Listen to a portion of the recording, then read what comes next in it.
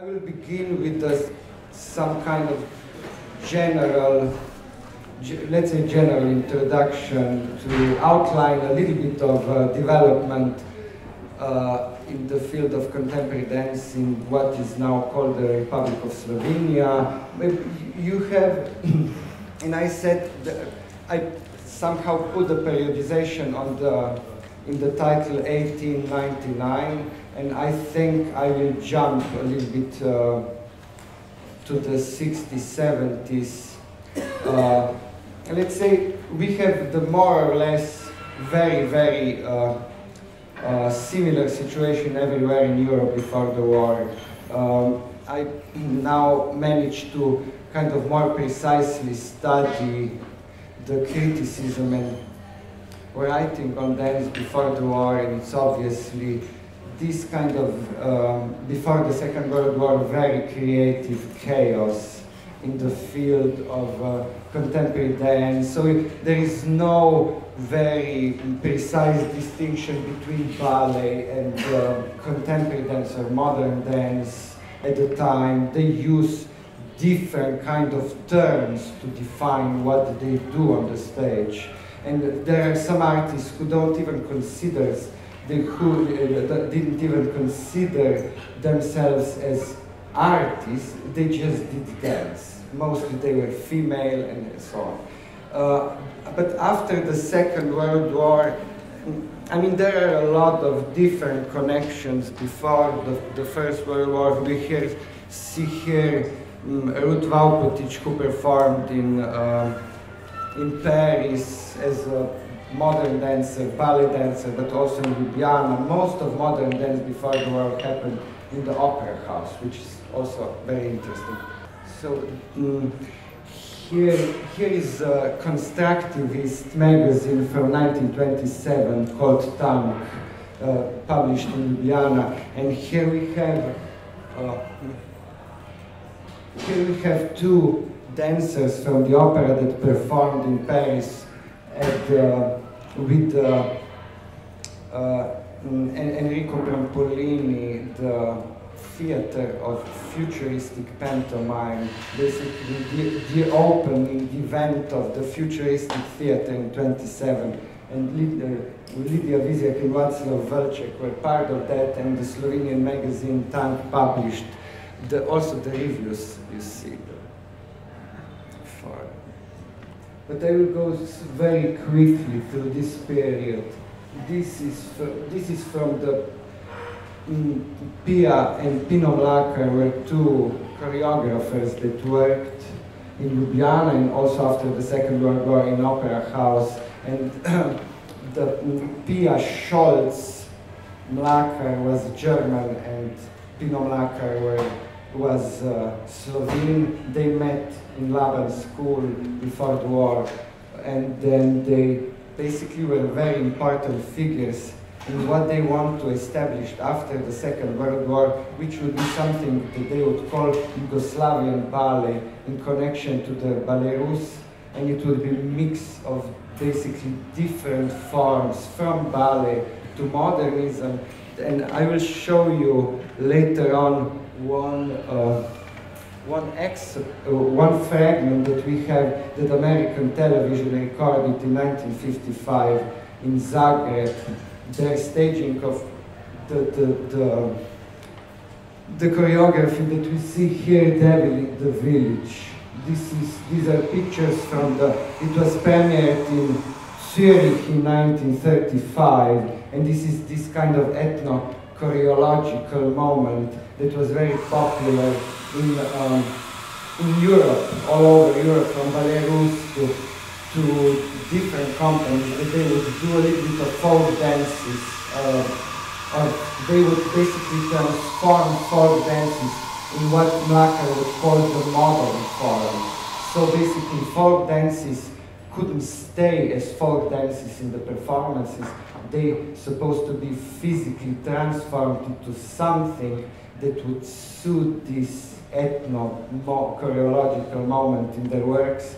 Uh, and this would be basically modernistic kind of uh, dance. It the, the basically ballet uh, ballet vocabulary wouldn't be suitable for the representation of folk dances on the stage. It would, it would have to be modernized. Mm. This is Katja Delag, the Austrian choreographer and dancer who worked here in Ljubljana from 31 till 38. She was from the Jewish family from Vienna and later in 38 emigrated to the United States and was with his friend Fritz Berg very crucial for, um, or she, they would teach something that would be in 47 called Palestinian dances in the United States and two years after they would basically call these Israeli dances already. So they would teach these folk dances and also modernized form of it in New York and around. The, the Cultural Center, 92nd Street, Y New York would be basically certain kind of a center for their work. It's on the 92nd Street. Mm. This is Katja Delag. This is the school of Meta Vidmar before the war uh, in uh, Ljubljana. She was the student of Mary Wigman's school, so she established in 29 in Ljubljana a school which was quite influential uh, also for the development of contemporary dance after the war. Here, here are some examples. This is Pia Mlakar, this is Pino Mlakar, partly this is Václav Velček, the one who danced with the trampoline, with trampolini in um, in uh, Paris. This is the picture of Slovenian dancer Marta Paulin Brina dancing in front of the Yugoslav partisan, partisan army in September 43. Uh, the soldiers were just liberated from the concentration camp in Rab after capitulation of Italy, and she's dancing. She was the, the student of Mary Wigman, not of Meta Vidmar, who was the student of Mary Wigman, and uh, she's performing here, yeah, in the in totally different conditions in which she used to perform. And she, in her memory, she says that uh, basically she had to forget everything that she learned. She had to face the dance on the uneven ground. And she would face the audience that not, not that they wouldn't see dance. Some of them never basically saw any cultural event until then. With the cultural group of art and division, she would perform in the disliberated territories in Slovenia in front of these audiences that were just totally virgin audience uh, mm, watching dance. And uh, the memoirs, in the memoirs, they're telling how impressed they were and how how thick the atmosphere was and how enthusiastic the audience was when she was performing. And this, this is for me very interesting thing because nowadays that we are talking about audience developments all the time, it's one, one example how kind of very special social or political circumstances produce or open the kind of sensibility of the people uh, to the point that they're able to perceive something that they wouldn't know before. And um, Marta Paulin Brina, I mean, her story, I mean, she, she, it's, uh, it's interesting also, uh, also because now she is basically in the uniform wearing the, um, the wearing these shoes that she got from one that Italian soldier um, because they reused what they found all the time. But these shoes, these boots, were kind of fatal for her uh, because when they, when the 14th Division marched during the winter time of 43 to 44 uh, through what, from one part of Slovenia to the other, and there was a huge amount of snow that year. Um, a lot of them were killed on the way. but uh, her toes frozen. So basically, they had to remove the toes, and uh, so that was the end of her dancing career. She was the pedagogue after the Second World War, and uh, she died in, I think, 2005. And she's this kind of uh, legendary figure. This, I mean, it's one of the rare examples of basically contemporary dance in, the, in this kind of circumstances. I think in Croatia they, they had one ballet dancer who was also performing in front of the partisan Army, but this is, this is special example of contemporary dance at the time. And it's, uh, it's uh, also, I don't know, I mean, it's, it's also interesting because basically she was trained in something that used to be considered as the German dance in front of the uh, partisans. There were no limits. I mean, yeah, no, no, but but but but the choreographers uh, of Ausdruckstanz would consider them themselves as a German kind of dance, but this basically saw no limits. Here in Pina Mlakar were uh, artistic directors of the Bayerische Staatsballet. I don't know precisely how it was called between 39 and 43, basically in the period of February.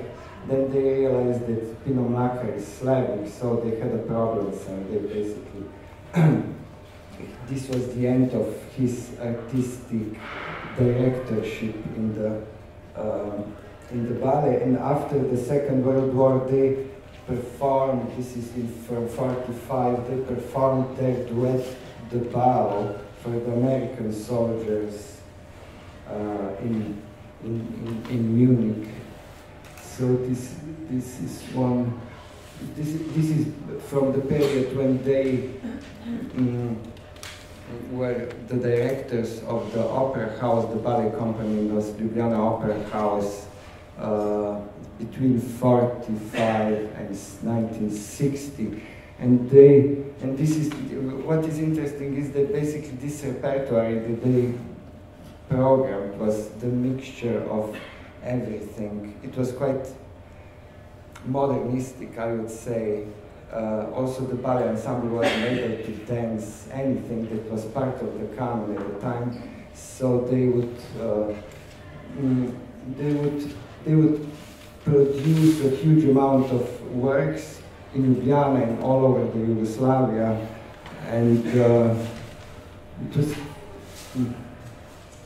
kind of, a lot of this kind of, um, mm, let's say, uh, contemporary realism in, in dance, which is very interesting. Uh, this is the bow, the duet that I mentioned that they performed in front of the uh, American soldiers in 45. It was just restaged a few years ago in opera house in Ljubljana. Now I will basically make a little bit of tribute to the place and London Contemporary Dance Theatre because in the from the beginning of the school on, from April 60, uh, 65 till uh, 70, she was the, the uh, Ksenia Hribar, Slovenian dancer, was a student of the school at the beginning, and then from 67 to 74 she was part of the, the company. Before, in the 1960s, uh, so here we see her on the photo with the, at the beginning of 60s with the Margot Fonteyn because she, she was, uh, Ksenia basically studied from 60 to 62 at the Rambert Dance School and then back, went back home, and then later in 65 came to London and stayed with the school and the company until 74. Just, uh, mm -hmm. This is also with, uh, this is Ksenia here and uh, Fonteyn on the other side. This, basically, all these photos were taken by one guy who wrote the dictionary of ballet, Jimmy Wilson, Jimmy Wilson was one very enthusiastic guy who grew out of the ballet context of Britain from the 20s on and was following dancers.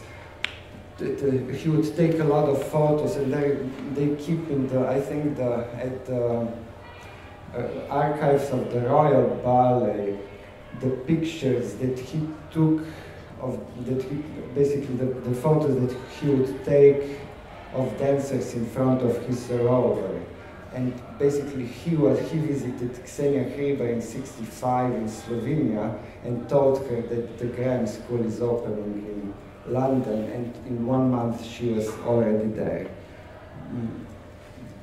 This is one concerning international collaborations, exchange, and, um, and cultural diplomacy. What it's a very interesting thing.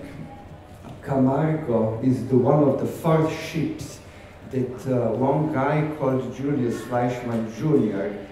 was, he was cruising throughout the world with this. He cultural anthropologist and a very, very wealthy man who was the heir of the huge um,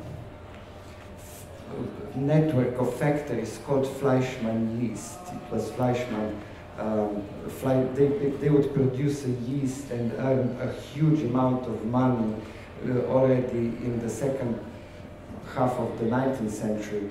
But he was also culturally very active. He was the um, at one point artistic director of the Russe de Monte Carlo and the Metropolitan Museum of Art in New York. He would invest a huge amount of money in, uh, in art. And um, here in 63, Ksenia is on this ship with this guy. He was cruising throughout Europe uh, and uh, chasing young, young artists to kind of mm, and try to, especially, he was especially interested in those who were behind the, what was called the Iron Curtain, and try to preach, of course, the freedom of speech, uh, liberal values uh, to them, and also he would, to a certain extent, help them also in the financial way. But what was interesting that in 1974, one American journalist found out that the mm, so-called Eisenhower funds uh, funds for, for the, for the um, export of American art to Europe, that basically all this money CIA basically channeled through his accounts. So basically all the dance companies that were in, also in Yugoslavia from the 50s on, like Jose Limon Dance Company, Martha Graham Dance Company, they would be sponsored by this Eisenhower Fund but, with the money that America would, would invest into ex exporting uh, modern dance to, to Europe. And I still can figure out how come that Xenia basically appeared on this ship. It's, well, it's kind of well or known that one friend of her, who was a writer, helped her uh, to get on this ship, which was parked at Piran Gulf on the Slovenian beach in 63, in the summer of 63. And uh, the whole story was told by Dusan Jovanovic, who also, a Slovenian playwright, and who also kind of was on the way to to, to get on this ship. So, and this was the moment that Dusan Jovanovic get to know Ksenia Hribar, and she, he writes that she looked like some kind of uh, movie star on the on the ship. This is. Uh, Ksenia in the first performance, the first season of uh, London Contemporary Dance Theatre in October 67. It was called Witness of Innocence and it was done by a Canadian choreographer, David Earle. I mean, what I kind of, uh, because I just finished the book, what I realized and what we have to know, uh, or what we find hard to imagine these days, that basically America, that uh, the contemporary dance was very new in Europe after the war at the time. Basically there was, um, before we had some situations, so some small environments, some small circumstances in which contemporary dance would appear, or in combination with the ballet, because Europe had, had needed a, a huge amount of time to re-establish itself after the Second World War somehow to get alive again.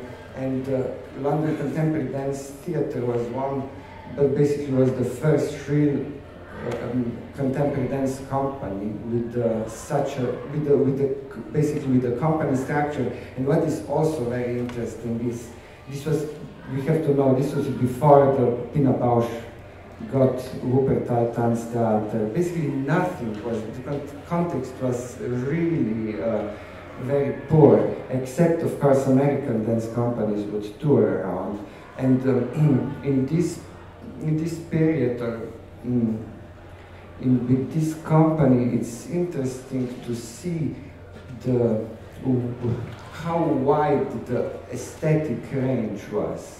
Basically, they, they, they did, did everything from very kind of already canonized works of modern dance like Graham, Anna Sokolow, Talley Beatty, to the most experimental works done by very young artists or some invited artists like, uh, for example, Remy Charlip, who in 1972 did the first kind of postmodern piece, I claim, for the, in the British context, uh, in which they talked, uh, they, they would, um, the company would collect the task from the, the, tasks from the audience and then execute them. They would paint on the floor with their bodies. Then they would they would sell the paintings for a very small amount of money. And John Percival, who was right, who was renowned dance critic at the time, was very, very uh, uh, a little bit angry and. Uh, basically this kind of classical discussion about uh, identity of dance starts in the British media. So what is dance and what is not dance? This is uh, then the big thing. This is from 67, Witness of Innocence, also one tryout of the very early different kind of organization of the dance narratives because basically what they knew at the time was mostly very dance dramas done as in ballet. And here, David Earle, very young choreographer, had this idea that he would basically have this crucial figure of Jane Grey, who was danced and played by Xenia, and all around he would, he would basically kind of deconstruct narration in the way that it would be very fragmentary organized. And this is, when I was reading all these things uh, about this period, it's obviously that it's obvious that critics are really struggling with how to comprehend all, all this stuff. This was totally new. Although I think they were very good in descriptions of things. Um, this is this is also witness of innocence. This is uh, from 68. Xenia performed in one of the projects of Primavera Bauman. Uh, there were five pieces called Five Situation, and it would be the period when in London they would experiment with the mixed, something that they would call mixed media theater mixed media dance, mostly people who would create those these works were, would be artists, visual artists who would also be somehow involved in the in uh, in dance and choreography. This is a great with this work Primavera Bauman graduated, and it was one of the first examples in um, in England that they would experiment with the situations, which is which was the new term in visual arts, but also with sculptures. and it will be presented, I think, twice in the July of 68 in the Mermaid Theatre in London.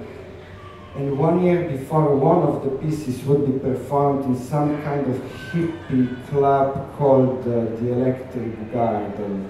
Um, the, the, the, other one was of Alan Beatty.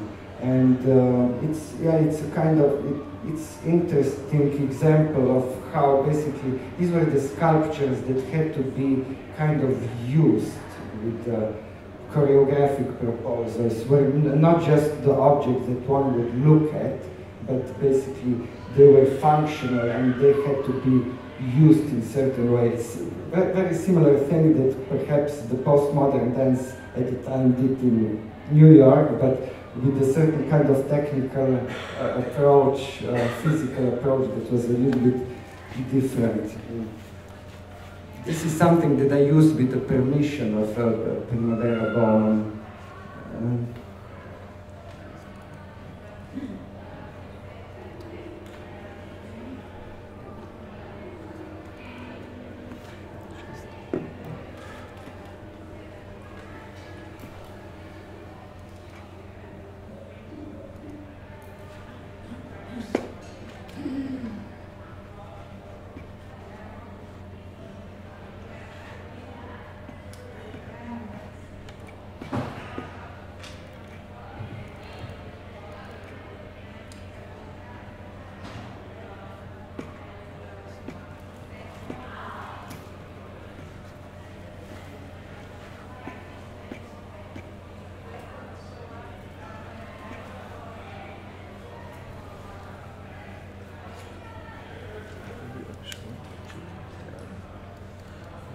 this is per perhaps you would find this a little bit unusual.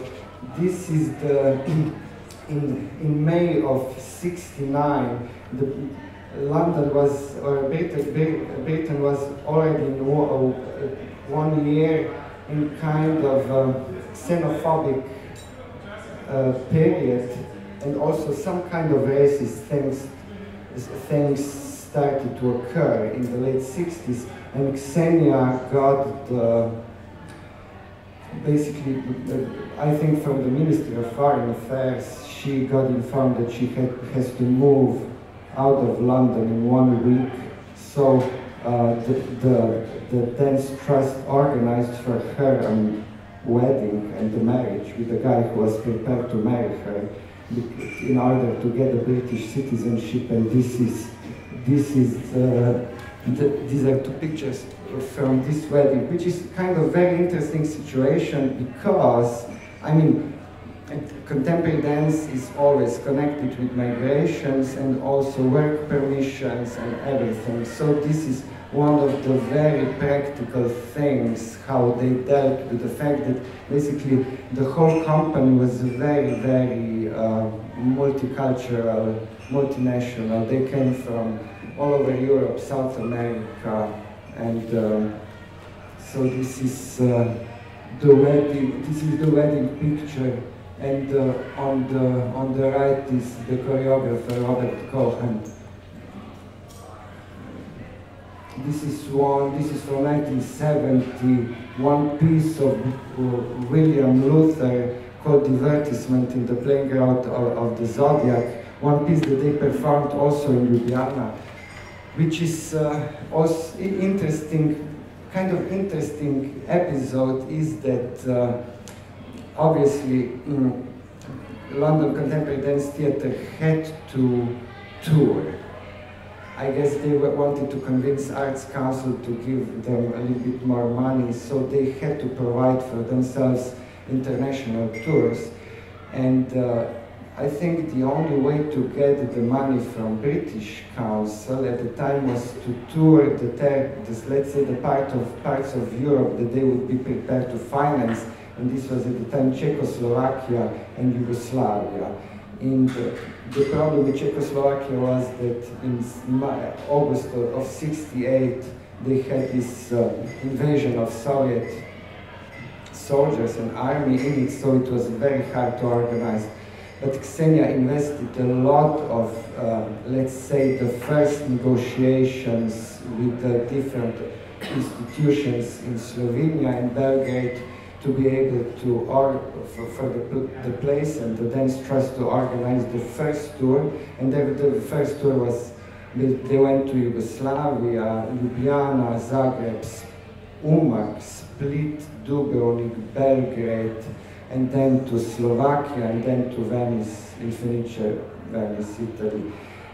And it was, um, I mean, the whole correspondence with, uh, that I got it's, uh, it shows, for example, the differences between different uh, institutions in Yugoslavia at the time, um, also different kind of competitiveness between them, because they it was a huge fight who, will be in charge for the whole tour, Ljubljana or Belgrade, and at the end it was Ljubljana, but uh, yeah, and it was the, it was total improvisation. And I think this tour was total improvisation for the company and for the Yugoslavian context. And uh, the, another one was in 73 with the South American uh, tour that happened just um, at the time when South America was just before different coup d'etats and you know, at the time when Peron returned from Spain and so on, it was huge, uh, um, yeah, it was quite uh, huge improvisation.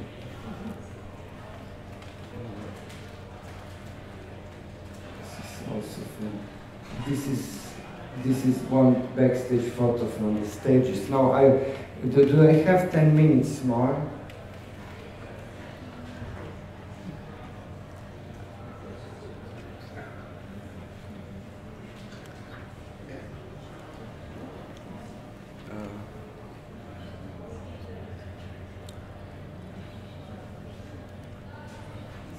I will, I will now show you some photos. I, I mentioned before Remy Charlip's dance from 72. Remy Charlip was uh, a founding member of Cunningham Dance Company from the 53 on. And this was kind of experimental way. But what is also interesting is uh, four or five works that Robert Cohan uh, did at the time in London, which basically caused a huge, or a little bit of a problem, basically, how to perceive them.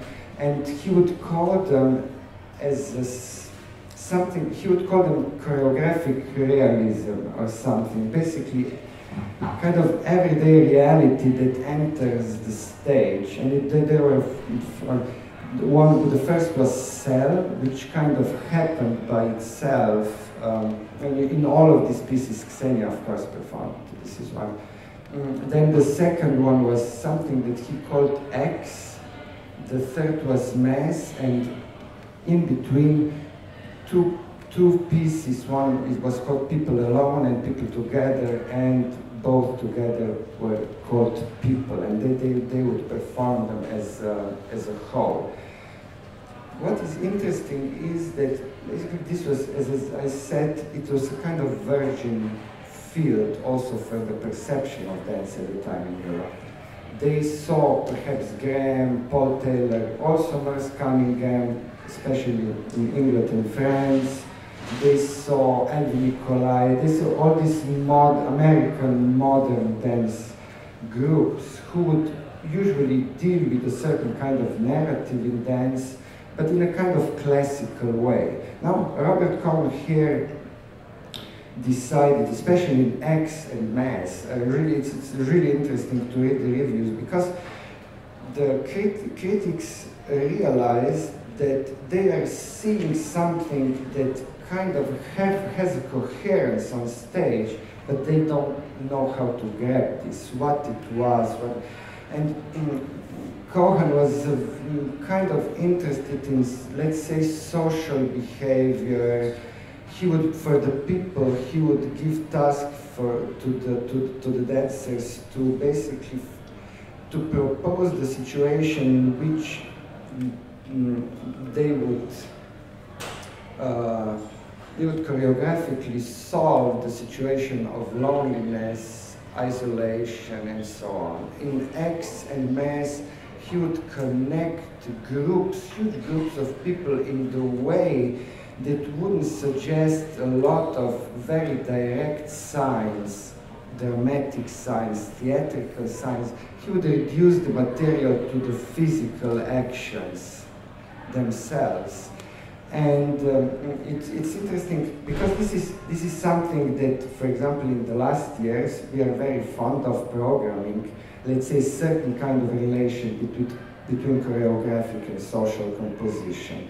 This kind of non-very direct um, mm, mm, configuration of different, different groups, groups of people that would suggest or develop certain kind of social behavior or development. I don't know, collective jams that we had here of Isabel Schad and so on.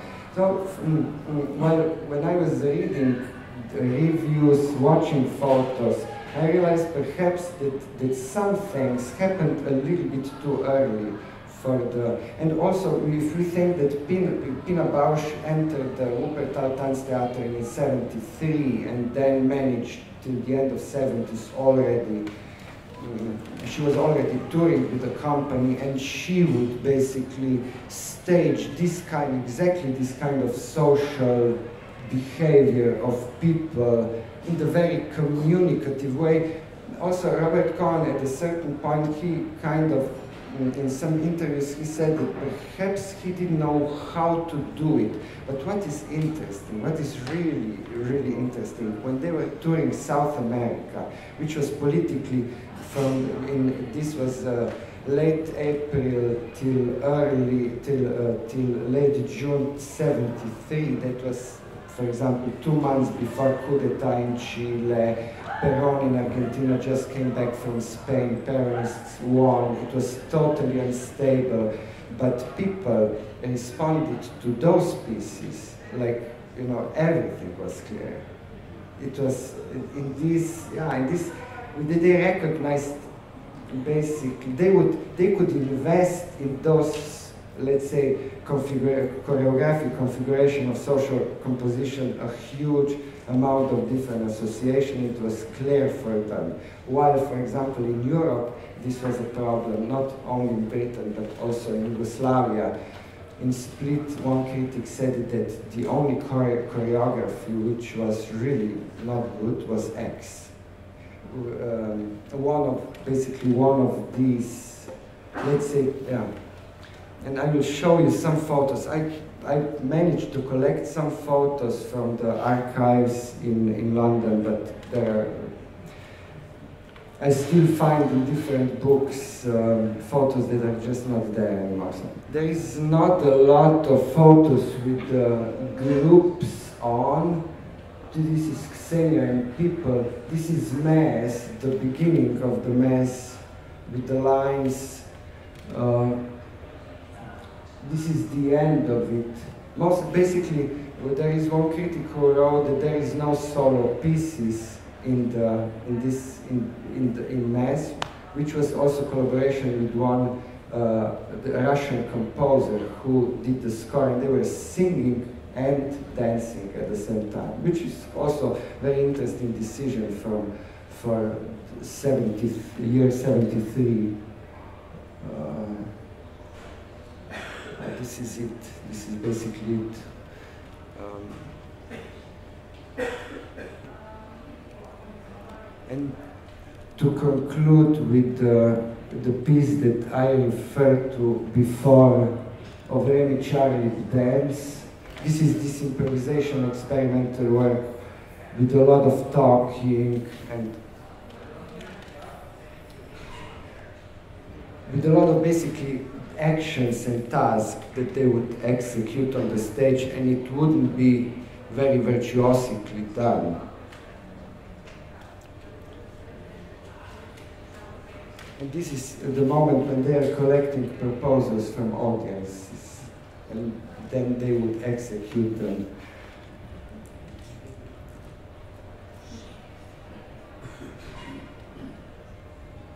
And they would have of course, initial letters of their private names written on the costumes, which is also kind of dealing with the everyday reality. And they would feel exposed. They would feel very much exposed. And the, it was the, the whole piece that they would do would be very kind of horizontally structured uh, process. This is so. This is uh, this is say back here. See, perhaps you know Linda Gibbs and Robert North. I think. I, yeah. Okay. I think we have to conclude. I gave you a few fragments, a few stories. It's a huge amount of uh, material still, but I kind of selected these ones. I hope you, I mean, you enjoyed. Uh, just we had some technical problems, but I apologize.